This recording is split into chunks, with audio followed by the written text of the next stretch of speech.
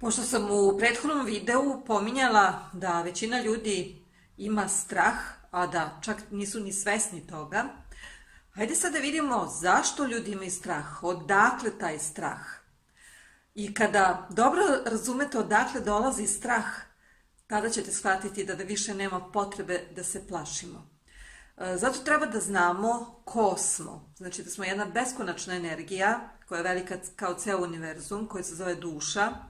da lebdimo slobodno u univerzumu, ali da ako samo lebdimo slobodno u univerzumu, gde nema ograničenja, gde je samo ljubav prisutna, onda ne možemo da znamo šta nije ljubav, šta su ograničenja. A pošto duša želi da ima apsolutno svako iskustvo i želi da ima iskustvo i šta znači biti u nekom ograničenju, šta znači imati drugo iskustvo osim samo slobode i ljubavi, duša potpuno svesno kreira od jednog malog dela svoje energije, kreira ovo što mi zovemo telo i svoj život, zato što je duši potrebno telo da može da ima iskustva onih emocija koje nisu ljubav. I sad duša izdvoje jedan deo svoje energije,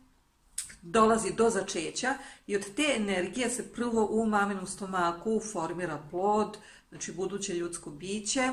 i mi smo tu još uvek znači zaštićeni, tu smo još uvek zajedno sa mamom, pre toga smo bili svi zajedno, znači mi smo izvan našeg tela svi povezani, nikad razdvojeni. I taj jedan mali deo ulazi sad u mamin stomak gde smo mi opet sa svih strana ušuškani, a onda u jednom trenutku dolazi ono što je neverovatno strašno, a to je sobstveno rođenje. Sobstveno rođenje izuzetno boli i fizički i tu dolaze još druge stvari, znači potpuno ulazimo u neku stvarnost koja je sve osim poznatog, znači hladnoća, prostor, buka, blještava svetlost, preseče se pupčana vrpca i od tog trenutka počinju i emocije da teku kroz telo koje su dotad bile nepoznate i strah i ljutnja i besi i tako dalje. I od trenutka presecanja pupčana vrpce se zaista dobije taj osjećaj da smo apsolutno sve izgubili što smo ikad imali i u tom nekom smislu to je istina. E sad, radi se o tome što duša zna da je sobstveno rođenje zaista bolno i traumatično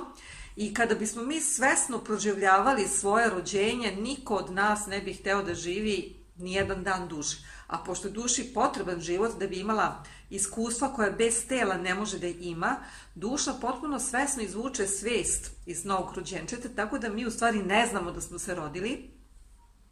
I sad smo tu, imamo telo, imamo emocije koje već u potpunosti idu kroz telo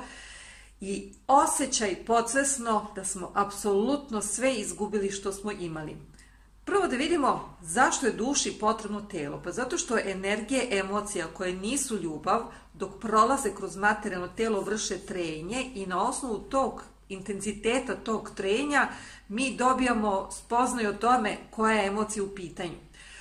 Znači, duša želi da iskusi i strah i sve ostale neprijatne emocije, zato je iskreirala telo, ali pošto smo mi zaboravili ko smo i zašto smo se rodili, to sve deluje mnogo, mnogo strašno. I taj podsvesni strah da smo mi izgubili sve što smo nekad imali, ostaje u podsvesti. Znači, jedno novo rođenče zna da je bespomoćno, da ne može apsolutno ništa samo, bez roditelja, I onda se javlja taj strah, znači kad mama i tata nisu odmah tu pored bebe, gde su, da li će doći, da li će oni meni da pomognu da se ja izvučem iz ove situacije. Naravno, strah je potpuno nerealan, ali to jedna beba ne zna. E, vremenom počinje um da se razvija, znači svest počinje da se razvija, gde mi uvek nekako čujemo da nije dobro kada plačemo, kada pokazujemo roditeljima da se osjećamo nelagodno zato što roditelji tada brinu. I onda smo mi naučili da potiskamo te emocije koje roditelji kod nas ne vole da vide, a naravno roditelji ne vole da im se beba plaši. Tako da smo i strah potiskivali i postali smo majstori u potiskivanju. Jedno ljudsko telo jeste, znači, ograničeno, to je ono što je duši takođe potrebno, to neko iskustvo biti ograničen i onda mi zatrpavamo to telo tim emocijama i strahom i verujemo da se ne plašimo. Vrlo često mislimo da, da je sve u redu, da se mi ne plašimo, ali je istina da u telu postoji ogromna količina te energije straha koja će povremeno da izbije na površinu i tada se obavezno dešava da mi u životu imamo neko iskustvo, znači neku situaciju koja nas plaši, da se mi uplašimo. Ali iz neznanja verujemo da se prvo desilo to što nas plaši, pa smo se mi zbog toga plašili. E, obrnuto je, i kad ovo dobro razumete, shvatit ćete da nema potrebe više da se plašite. Znači, strah koji je bio toliko jak već u vama da je došao na površinu je konačno iskreirao jednu situaciju koja će vama da pokaže da imate strah u sebi.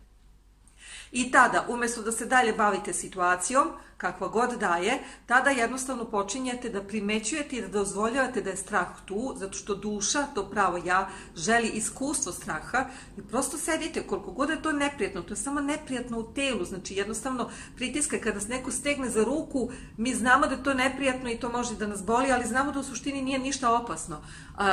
Kada znamo da nije opasno, onda možemo i da dozvolimo da je strah tu. Znači,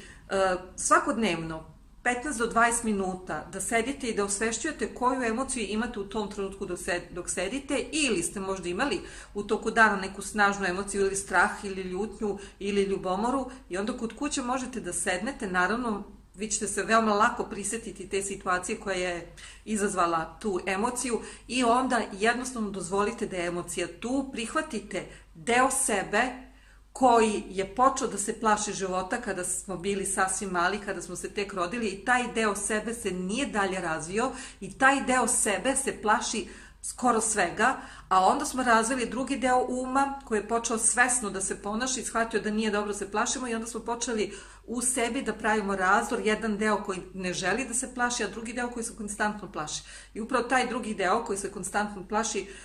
uporno kreira životne situacije u kojima mi opet imamo strah. Znači, od sada nemojte više da brinete kad osjećate strah, jer kada se okrenete emociji, tada polako situacija spoljašnjom počinje da se menja. Više nije onakva da vas plaši, nego vi vidite da se menja i da tu postoji apsolutno neki izlaz. E, da ponovimo, strah je u nama od trenutka rođenja i naravno da smo ga preneli